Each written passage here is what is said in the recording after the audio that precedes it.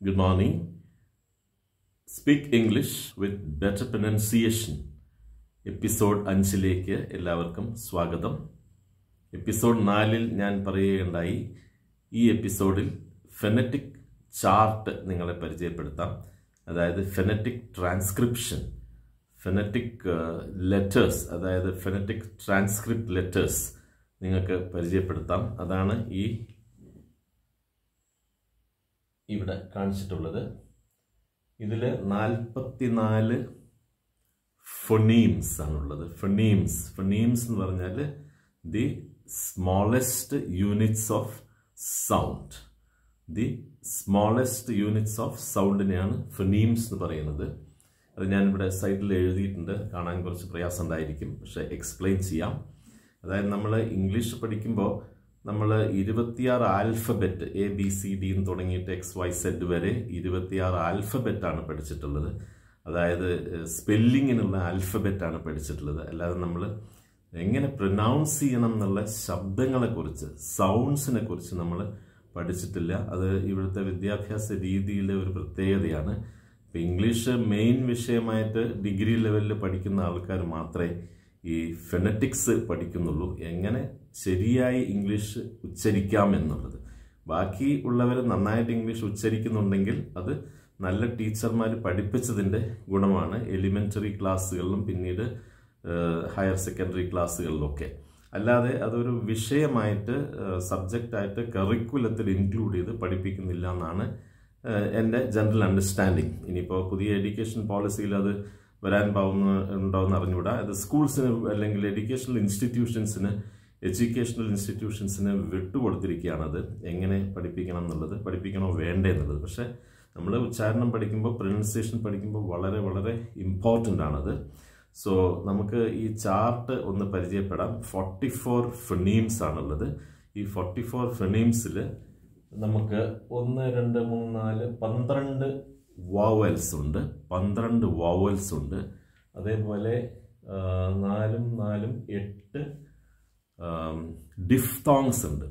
ഇപ്പോൾ ഇവിടെ എഴുതിയിരിക്കുന്നത് നിങ്ങൾക്ക് കാണാം. Vowels single vowels and double vowels so single vowels are called monophthongs and double vowels are called diphthongs അതായത് ഒരു combination of two vowels are called diphthongs ബാക്കിയുള്ളതെല്ലാം consonants ആണ്.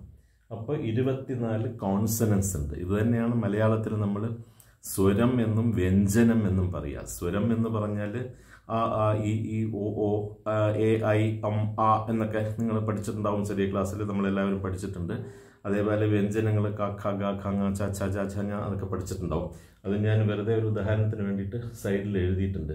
അപ്പോൾ ശബ്ദങ്ങൾ പരിചയപ്പെടുമ്പോൾ നമ്മൾ ഇങ്ങനെ പഠിച്ചിരിക്കണം. മലയാളത്തിൽ നമ്മൾ ഹ്രസ്വവും ദീർഘവും ഒക്കെ ഉണ്ട്. അതായത് കുറുക്കലും നീട്ടലും. അപ്പോൾ എങ്ങനെയാ വെച്ചാൽ ആ എന്ന് പറയും പിന്നെ ആ എന്ന് പറയും ഓ എന്ന് പറയും ഓ എന്ന് പറയും അല്ലെങ്കിൽ ഇ എന്ന് പറയും ഇ എന്ന് പറയും അങ്ങനെയൊക്കെ നീട്ടലും കുറക്കലും ഉണ്ട്. അത്ര പോലും നമ്മൾ ഇംഗ്ലീഷിൽ ചെറിയ ക്ലാസ്സിൽ പഠിപ്പിച്ചിട്ടില്ല. കാരണം ആ എന്നുള്ളത് എ എന്നാവാം ആ എന്നാവാം അല്ലെങ്കിൽ ഒ എന്നാവാം അങ്ങനെയൊക്കെ ഒ ഐ രണ്ടും കൂടി ചേർന്നാൽ ഒ എന്നാവാം ഇ എ എന്ന് പറഞ്ഞാൽ ഇ എ എന്നാവാം അങ്ങനെയുള്ള കോമ്പിനേഷൻസ് സൗണ്ട്സ് എങ്ങനെയാണെന്നുള്ളത് നമ്മളെ പഠിപ്പിച്ചിട്ടില്ല. അതുകൊണ്ടാണത് ഈ ഫെനറ്റിക്സ് നമുക്ക് ശീലമില്ലാതെ പോയതും പല പദങ്ങളും നമ്മൾ തെറ്റായി ഉച്ചരിക്കാൻ ഇടവന്നതും അതുകൊണ്ടാണ്. അപ്പോൾ നമുക്ക് ഈ ലെറ്റേഴ്സിലേക്ക് ഫെനറ്റിക് ട്രാൻസ്ക്രിപ്റ്റ് ലെറ്റേഴ്സിലേക്ക് അല്ലെങ്കിൽ ഫെണീംസിലേക്ക് നമുക്ക് കടക്കാം. അപ്പോൾ മുഴുവനെ ഇന്ന് കംപ്ലീറ്റ് ചെയ്യാൻ പറ്റുമെന്ന് അറിഞ്ഞൂടാ പക്ഷെ കഴിയുന്നത്ര നമ്മൾ ഒരു ഒരു ആവർത്തി വായിച്ചു പോകാം. ഓരോന്നിലും അത് വായിക്കുമ്പോൾ നിങ്ങൾക്ക് പ്രൊനൗൺസിയേഷന്റെ വ്യത്യാസം മനസ്സിലാവും. ഫോർ എക്സാമ്പിൾ ഇതിൽ ബിറ്റ് എന്നാണ്. ഇ ഇതിലെന്താണുള്ളത്? സി എന്നാണ്. അപ്പോൾ അത് ഇ നീട്ടി വായിക്കുക ഇതിൽ പുട്ട് അപ്പോൾ ഉ എന്നുള്ളൂ വേറെ ഇതിൽ യു യു എന്ന് പറയുമ്പോൾ യു നീട്ടിയാണ് വായിക്കുന്നത്. അതേപോലെ പെറ്റ് എന്ന് പറയുമ്പോൾ എ എന്നേ വരുന്നുള്ളൂ. ഇതിലെന്താ പറയുന്നത്? വൺ മിനിറ്റ് ഹർ ഹർ എന്ന് പറയുമ്പോൾ എന്ന് നീട്ടി വായിക്കുന്നു. ഇതിലെന്താ പറയുന്നത്? വാട്ടർ വാട്ടർ എന്നേ വരുന്നുള്ളൂ. അതേമാതിരി അപ്പോൾ ഇതും ഇതും തമ്മിൽ എന്താ വ്യത്യാസം? ഇതിൽ പെറ്റ് എന്ന് പറയുമ്പോൾ എ എന്ന് പറയും. ഇതിൽ എ എന്ന് പറയും. വാട്ട് ആൻഡ് ദെൻ ഇതിലെന്താ വരുന്നത്? ഫോർ ഓ ഓ ഫോർ ഓ എന്നുള്ള ശബ്ദമാണ് വരുന്നത്. അതേപോലെ ഇതിൽ പാറ്റ് നമ്മൾ പാറ്റ് കാറ്റ് മാറ്റ് എന്നൊക്കെ പഠിച്ചു. അതിൽ പാറ്റ് ആ എന്നുള്ള ശബ്ദമാണ് വരുന്നത്. ഇതിൽ അപ്പ് എന്നുള്ള ശബ്ദമാണ് വരുന്നത്. ഇതിൽ പോട്ട് ഓ ഓ എന്നുള്ള ശബ്ദമാണ് പോട്ട് പിന്നെ ഇതിൽ ഫാർ ഞാൻ പറഞ്ഞു ഫാദർ ഫാമ ബാബ എന്നൊക്കെ പറഞ്ഞില്ലേ? അതുപോലത്തെ ആ എന്നുള്ള ആണ് വരുന്നത് ഇതിൽ ഫാർ പിന്നെ ഈ രണ്ട് കോമ്പിനേഷൻസ് വരുന്നത് നമുക്ക് നോക്കാം. ഇ ആൻഡ് ഐ അപ്പോൾ ഇതിലെന്താണ്? എയ്റ്റ് എയ്റ്റ് എന്ന് പറയുമ്പോൾ ഭക്ഷണം കഴിച്ചു അല്ലെങ്കിൽ കഴിച്ചു എയ്റ്റ് എന്ന് പറയുമ്പോൾ ഇ എൻ ഐ എയ് എയ് എന്ന് വരും. അടുത്തതിൽ എന്താണ്? ബോയ് ബോയ് അപ്പോൾ ഓ എന്നുള്ളതും ഐ എന്നുള്ളതും രണ്ടും കൂടി. ഓയ് ഓയ് അതാണ് ബോയ് എന്ന് വരുന്നത് അടുത്തത് ഹിയർ ഞാൻ പറഞ്ഞു ഇയ ഇയ എന്നൊരു സൗണ്ട് ഉണ്ട്. അതാണ് ഐയും ഏം കൂടി ചേർന്നത് ഹിയർ അതേമാതിരി ഐ എയും ഐയും കൂടി ചേർന്നത് ഐ അതാണ് ഐ മൈ എന്ന് വരുന്നത്. പിന്നെ വരുന്നത് ഹെയർ ആണ്. ഈയും ആവും കൂടി ചേർന്നത് ഇയാ ഇയാ ഹെയർ ഹെയർ ഹെയർ ഇയും എയും കൂടി അതായത് എന്നുള്ളതും എ എന്നുള്ള ശബ്ദം കൂടി. ഹെയർ ഹെയർ പിന്നെ വരുന്നത് ഷോ ഇ യു യു U show show show okay show എന്നൊക്കെ പറയും തെറ്റാണ്. ഷോ ഷോ ഷോ പിന്നെ വരുന്നത് ഹൗസ് എയും യുവും കൂടി ചേർന്ന് ഔ ഇതൊക്കെ മലയാളത്തിൽ ഇക്വലൻസ് ഉണ്ട്. അതാണ് ഔ ഹൗസ് ഹൗസ് പിന്നെ യുവും യു എന്നുള്ളതും എ എന്നുള്ളതും. അതായത് ഉ എൻ എ രണ്ടും കൂടി ചേർന്നാൽ ഇപ്പോൾ ടി ഒ യു ആർ എന്നൊരു വാക്കുണ്ട്. ടു ആ ടു ടൂർ എന്നാ പറയാം. ടൂറല്ല ടൂർ തെറ്റിയാണ് ഉച്ചരിക്കുന്നത്. ടു ആ ടു ആ അതാണ് ഉ എ ടൂർ ഓക്കെ അപ്പോൾ സിംഗിൾ വവൽസായി ഡബിൾ വവൽസായി ഇപ്പോൾ രണ്ട് ഇത് ഇത്രയായി. പന്ത്രണ്ടും എട്ടും ഇരുപത് സ്വരങ്ങളായി. ലെറ്റേഴ്സ് അല്ല സ്വരങ്ങളാണ്. സൗണ്ട്സ് ഫിണീംസ് ആണ് നമ്മൾ പഠിച്ചത്. അപ്പോൾ ഇത് പ്രാക്ടീസ് ചെയ്ത് കഴിഞ്ഞാൽ വളരെ കൃത്യമായിട്ട് നമുക്ക് എല്ലാ പദങ്ങളും ഉച്ചരിക്കാൻ സാധിക്കും. കാരണം എങ്ങനെയാണ് ബേസിക്കലി ഈ സ്വരങ്ങൾ ഉച്ചരിക്കുന്നത് എന്നുള്ളതാണ് നമ്മൾ മനസ്സിലാക്കുന്നത് ഇനി നമുക്ക് കോൺസനൻസിലേക്ക് കിടക്കാം.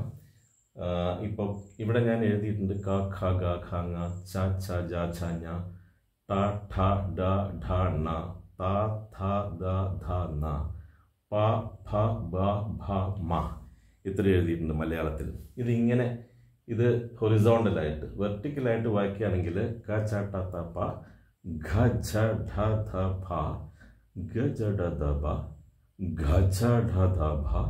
ങ ഞ ണ ന മ ഇത് നിങ്ങൾ ചെറുപ്പകാലത്ത് കുട്ടിക്കാലത്ത് സ്കൂളിലൊക്കെ പഠിച്ചു കാണും. ഇതിന് ചില പേരുകളുണ്ട്. എന്തിനാ ഞാൻ കമ്പയർ ചെയ്യണമെന്ന് വെച്ചാൽ ഇത് ഇംഗ്ലീഷിലും മലയാളത്തിലുമൊക്കെ ഈ സ്വരങ്ങളുടെ വ്യത്യാസം മനസ്സിലാക്കാൻ വെറും ആൽഫബറ്റ് മാത്രം പഠിച്ചുകൊണ്ട് സ്വരങ്ങളോ പ്രൊനൗൺസിയേഷനോ നമുക്ക് മനസ്സിലാവില്ല. അപ്പോൾ ഇതിൽ കണ്ടില്ലേ അപ്പോൾ ഈ സെറ്റ് ഓഫ് ലെറ്റേഴ്സിന്റെ ഖരം എന്ന് പറയും. ഖരം എന്ന് പറഞ്ഞാൽ കട്ടിയുള്ളത്. പിന്നെ കുറച്ചുകൂടെ കട്ടിയുള്ളതിനാണ് അതിഖരം എന്ന് പറയുന്നത്. അതിഖരം കുറച്ചുകൂടി കട്ടിയുള്ളത് കഠിനമായിട്ട് തോന്നും. പിന്നെ ഇതിന് കറക്റ്റായ പേരെന്താ? മൃദു. മൃദു എന്ന് പറഞ്ഞാൽ ഇപ്പോൾ കേൾക്കുമ്പോൾ തന്നെ ഗ ദ ദ ഗ ജ ദ അതിന് കച്ചട തപ എന്ന് പറയുന്നതിന്റെ കഠിനത ഇല്ല. ഗ മെല്ലെയുള്ള മൃദുവായ സ്വരം. പിന്നെ ഘോഷം. ഘോഷം എന്ന് പറയുന്നത് മുഴങ്ങുന്നത്. നമ്മൾ സംസാരിക്കുമ്പോൾ മുഴങ്ങുന്നത്. അതാണ് ഘ ജ ഢ ധ ഭ. ഇതൊക്കെ മുഴങ്ങുന്നുണ്ട്. പിന്നെ അവസാനത്തെയാണ് അനുനാസികം. പറയുമ്പോൾ മൂക്ക് ഉപയോഗിച്ച് അല്പം മൂക്കും കൂടി ഉപയോഗിച്ച് നെയ്സലായിട്ട് പ്രൊനൗൺസ് ചെയ്യുന്ന അതാണ് അനുനാസികം. അതെങ്ങനെയാണ്? ഇങ്ങ ഞാനാമ നമ ഇങ്ങ ഞാനാമ ഇങ്ങ ഞാനാമ നമ ഇങ്ങ ഞാനാമ നമ അത് മൂക്ക് ഉപയോഗിച്ച് ഉപയോഗിക്കുന്നതാണ് നെയ്സൽ ഇതേമാതിരി സൗണ്ട്സ് ഇംഗ്ലീഷ് ഫൊണറ്റിക്സിലുണ്ട് ഇംഗ്ലീഷ് ഫൊണീംസിലുണ്ട് അപ്പോൾ അത് അതുകൊണ്ടാണ് ഞാൻ ഈ മലയാളത്തിന്റെ കമ്പാരിസൺ കൊടുത്തിട്ടുള്ളത്. പക്ഷേ ചിലപ്പോൾ ഇപ്പം നമ്മൾ ടി വിയിലൊക്കെ വായിക്കുമ്പോൾ വിദ്യാർത്ഥി എന്നുള്ളതിന് പകരം വിദ്യാർത്ഥി എന്ന് പറഞ്ഞേക്കാം. വിദ്യാർത്ഥി അത് തെറ്റാണ്. വിദ്യാർത്ഥി. അപ്പോൾ ഏത് ഭാഷയായാലും ഇംഗ്ലീഷ് ആയാലും മലയാളമായാലും ഉച്ചരിക്കുമ്പോൾ കറക്റ്റായിട്ട് ഉച്ചരിച്ചാലേ അതിന് ഭംഗി ഉണ്ടാവുള്ളൂ അത് കറക്റ്റായിരിക്കുള്ളൂ അരോചകത്വം തോന്നാതെ ഇരിക്കുള്ളൂ so that is the whole point in learning pronunciation ഞാൻ ആദ്യം പറഞ്ഞു പ്രൊനൗൺസിയേഷൻ നന്നായിട്ട് പഠിച്ചു കഴിഞ്ഞാൽ അവർ confidence level improves clarity of expression comes in communication becomes better and uh, ബിറ്റം ബിക്കംസ് ബെറ്റർ better. അപ്പം അങ്ങനത്തെ പല ആഡഡ് അഡ്വാന്റേജസും ഇതിലുണ്ട്. അപ്പോൾ അത് മനസ്സിലാക്കിയിട്ട് കറക്റ്റായിട്ട് പ്രൊനൗൺസ് പ്രൊനൗൺസ് ചെയ്യാൻ വേണ്ടിയിട്ട് നമ്മൾ ശീലിക്കണം. നല്ലോണം ശീലിച്ചു കഴിഞ്ഞാൽ ഒരു പ്രയാസമില്ല ഞാൻ പറഞ്ഞു. കൈസനെ പറ്റി പറഞ്ഞു. Kaizen is doing something very little day by day every day. Little a little a day. A little a day. അങ്ങനെ ചെയ്തു കഴിഞ്ഞാൽ നമുക്ക് വഴങ്ങും. So practice is very important ആദ്യമേ ഞാൻ ഒരു എക്സാമ്പിൾ പറഞ്ഞു. Arnold Schwarzenegger and Sylvester Stallone എന്നീ ആക്ടേഴ്സൊക്കെ അവരുടെ മസിൽ ഫോർമേഷൻ എങ്ങനെയാണ് ചെയ്യണമെന്ന് പറ്റി ഒരു എക്സാമ്പിൾ പറഞ്ഞു. നോട്ട് ഓൺലി ദാറ്റ് ഇപ്പം മ്യൂസിക് ആയാലും ആർട്ടായാലും എല്ലാം നമ്മൾ പരിശീലിക്കുന്നതിനനുസരിച്ചിരിക്കും. So do a, a little bit of practice every day to achieve mastery of the subject. Perfection mastery ഒന്നും വേണ്ട. പക്ഷെ അതിനോട് അടുത്തെത്താം. അതായത് ഒട്ടും മോശമായ രീതിയിൽ ഒരുപാട് മോശമായ രീതിയിൽ ഉച്ചരിക്കാതെ കുറച്ച് നന്നാക്കി ബെറ്റർ ആക്കാം. ഇപ്പം ഇനിയിപ്പോൾ ഈ കോൺസണൻസും കൂടെ ഞാൻ എക്സ്പ്ലെയിൻ ചെയ്യാം. കോൺസണൻസ് എങ്ങനെ വെച്ചാൽ park P A R K park അതിലെന്താ ശബ്ദം വരുന്നത്? ഫ ഫ എന്നുള്ളത്. പിന്നെ ഫാം ഇത് എളുപ്പമാണ്. താങ്ക് പക്ഷേ ഈ നൊട്ടേഷൻസ് നിങ്ങൾ നോക്കണം. ഇത് പി ഓക്കെ എഫ് ഓക്കെ ഫ് എഫ് ഓക്കെ ഥ എന്നുള്ളത് ഈ ഇങ്ങനെയുള്ള സാധനം കണ്ടു കഴിഞ്ഞാൽ ഥ എന്നാണ് അതിന്റെ ഉച്ചാരണം എന്ന് മനസ്സിലാക്കണം. ഡിക്ഷണറിയിലാണ് ഞാൻ കാണുന്നത് പറഞ്ഞത്. ഇന്റർനെറ്റിലും നിങ്ങൾ സെർച്ച് ചെയ്യുമ്പോൾ ഇങ്ങനെ കാണുന്നുണ്ടായിരിക്കും. വിതിൻ ബ്രാക്കറ്റ്സ് ഒരു പദത്തിന്റെ ഉച്ചാരണം കൊടുത്തിട്ടുണ്ടാവും ഈ രീതിയിൽ. ഇത് ടാങ്ക് ഇത് സിപ്പ് ഇത് ഷിപ്പ് ഈ ഷ എന്നുള്ള ശബ്ദം. എസും ഷും തമ്മിൽ സും ഷും തമ്മിൽ വ്യത്യാസമുണ്ട്. ഷ കാണിക്കാനാണ് ഈ അടയാളം നൊട്ടേഷൻ അതേമാതിരി ചിപ്പ് ച എന്നുള്ള ശബ്ദമാണ്. അത് ടീയും ഇതും കൂടിയാണ്. ട് എന്നുള്ളതും ഈ ഷ എന്നുള്ളതും കൂടി ചേരുമ്പോഴാണ് ചിപ്പ് എന്ന് വരുന്നത്. ഇത് അതേമാതിരി കിക്ക് കിക്ക് കെ കിക്ക് ഇത് ബോട്ട് ഇത് വോൾവോ ഇത് ദം ഇതാണ് വ്യത്യാസം. ഇവിടെ താങ്ക് ആണ്. ഇത് രണ്ടും ടി എച്ച് ആണ്. ഇവിടെയും ടി എച്ച് ആണ്. ഇവിടെ പക്ഷേ സോഫ്റ്റ് ആണ്. ദം എന്നേ പറയുന്നത് ദം ഇപ്പോൾ താങ്ക് ദം അപ്പോൾ ഇത് ഥ ഇത് ദ അപ്പോൾ ഇത് തന്നെയാണ് ഇവിടെ താ ഥ ദ ധ എന്നാന്ന് പറഞ്ഞില്ലേ? അതിന്റെ ഇക്വലൻസ് ആണ് ഇവിടെയും നമുക്ക് വ്യക്തമാകുന്നത്. അപ്പോൾ പിന്നെ അടുത്ത് ഡോഗ് അതിൽ ഡ ആണ്. ഇവിടെ നമ്മൾ ഡ പറഞ്ഞു. ഇവിടെ ഇവിടെ ട ഠ ഡ ഠ ണ പറഞ്ഞില്ലേ? അതെ. അതിലിതാ ഡ പറഞ്ഞു. അതേ സംഗതിയാണ് ഇവിടെ ഡോഗ് എന്നതിൽ വേറെ ദം എന്നുള്ളതിൽ ദ എന്നാണ്. അതേമാതിരി സിപ്പ് സിപ്പ്. പിന്നെ vision vision vision vision. Jump അതിൽ ജ ജ എന്നുള്ള വെച്ച ഡിയും സെഡും കൂടിയാണ്. അതാണ് നൊട്ടേഷൻ. അത് ജംപ് പിന്നെ ഗോൺ. അത് ഗ ഗ എന്നുള്ള ഗോൺ. പിന്നെ ഇതായി ബോട്ടായി വോൾവോ ആയി thumb dog zip vision jump gone. Then man ഇതൊക്കെ സിമ്പിളാണ് നെയിം റിങ് എന്നുള്ളതിന്റെയാണ്. ങാ. അതായത് മൂക്കുകൊണ്ട് പറയുന്ന നേസൽ എക്സ്പ്രഷൻ എന്നുള്ള റിങ്. ദെൻ ഹോപ്പ് എച്ചിന്റെ ദെൻ ഡബ്ല്യുവിന്റെ വിപ്പ് വിപ്പ് എന്നൊരു വേർഡല്ല ഒരു ചുരുക്കപ്പേരാണ്. വർക്ക് ഇൻ പ്രോഗ്രസ് എന്നുള്ളതിന്റെ ഒരു അബ്രീവിയേഷനാണ് അതിവിടെ ജസ്റ്റ് ഒരു എക്സാമ്പിളിന് സ്വരം കാണിക്കാൻ വേണ്ടി ഉച്ചാരണം കാണിക്കാൻ വേണ്ടി കൊടുത്തെന്ന് മാത്രം ഉവ ഉവ എന്നുള്ളതാണ്. ചുണ്ടുകൾ റൗണ്ട് ആക്കിക്കൊണ്ടാണ് നമ്മൾ ഉവ ഉച്ചരിക്കുക. വി ഉച്ചരിക്കുക വ വ എന്നാണ്. താഴത്തെ ലിപ്പ് അപ്പർ ടീത്ത് ടീത്തുമ്മൽ ടച്ച് ചെയ്തിട്ടാണ് വ വ. അതായത് ഡബ്ല്യു വ വ എന്നാണ്. ഇതാണ് വ്യത്യാസം. അങ്ങനെ ചില ഉച്ചാരണങ്ങൾ പഠിച്ചു കഴിഞ്ഞാൽ നമുക്ക് ഇപ്പോൾ വേൾഡ് വേൾഡ് വേൾഡ് എന്നല്ല വേൾഡ് എന്നല്ല പറയാം. വേൾഡ് വേൾഡ് ഇതൊക്കെ ഞാൻ ഓരോരോ എക്സാമ്പിൾസ് എടുത്തിട്ട് പിന്നീട് അടുത്ത സെഷൻസിൽ ക്ലിയർ ആക്കാം. പക്ഷേ ഇപ്പോൾ ഈ നമുക്ക് ഈ ഫിനറ്റ് ഫിനീംസ് ആയിട്ട് ഫിനറ്റിക് സിമ്പിൾസ് ആയിട്ട് നമുക്ക് ഒന്ന് ഫുള്ളായിട്ട് പരിചയപ്പെടാം. ഇവിടെ എത്തി ദെൻ ലിപ്പ് അത് എല്ലാണ് ദെൻ റൺ ആറാണ് പിന്നെ യു എന്നുള്ളതിൽ യ എന്നുള്ളതിന് ഇതാണ് ഫിനറ്റിക് നൊട്ടേഷൻ അപ്പോൾ വൈ എന്നല്ല ഇവിടെ അതിൽ ഇത് അപ്പോൾ ഇത് ഇത്രയും സിമ്പിൾസ് ഇവിടെ പരിചയപ്പെടുത്തുന്നത് എന്താണെന്ന് വിചാരിച്ചാൽ നിങ്ങൾ ഡിക്ഷണറി നോക്കുമ്പോൾ അല്ലെങ്കിൽ ഇന്റർനെറ്റ് നോക്കുമ്പോൾ ഓരോ വാക്കിന്റെയും അടുത്ത് തന്നെ വിതിൻ ബ്രാക്കറ്റ്സ് ഉച്ചാരണം ട്രാൻസ്ക്രൈബ് ചെയ്തിട്ടുണ്ടായിരിക്കും. എന്തിലാ ട്രാൻസ്ക്രൈബ് ചെയ്യുക? ഫിനറ്റിക്സിൽ ട്രാൻസ്ക്രൈബ് ചെയ്തിട്ടുണ്ടായിരിക്കും. സർ ഫിനറ്റിക് ട്രാൻസ്ക്രിപ്ഷനാണ് നമ്മളിവിടെ പരിചയപ്പെട്ടത്. സോ ഇത് ഈ ഇതൊന്നും ഇപ്പം എനിക്ക് എൻലാർജ് ചെയ്യാൻ പറ്റിയില്ല. എന്നെ കുറച്ച് കാണാൻ ബുദ്ധിമുട്ടുണ്ടാവും നിങ്ങൾക്ക്. അത് നിങ്ങളൊന്ന് വീഡിയോ കാണുമ്പോൾ ഒന്ന് എൻലാർജ് ചെയ്ത് നോക്കിയിട്ട് അതൊന്ന് പോസ് ചെയ്ത് കഴിഞ്ഞാൽ കുറച്ച് ഫോളോ ചെയ്യാൻ പറ്റും. Next time I will try to put a chart or something like that so that you will have a better view. So let me wind up here. All the best for improving your english pronunciation. Improve your pronunciation and speak english better. So see you. Bye bye in the next video.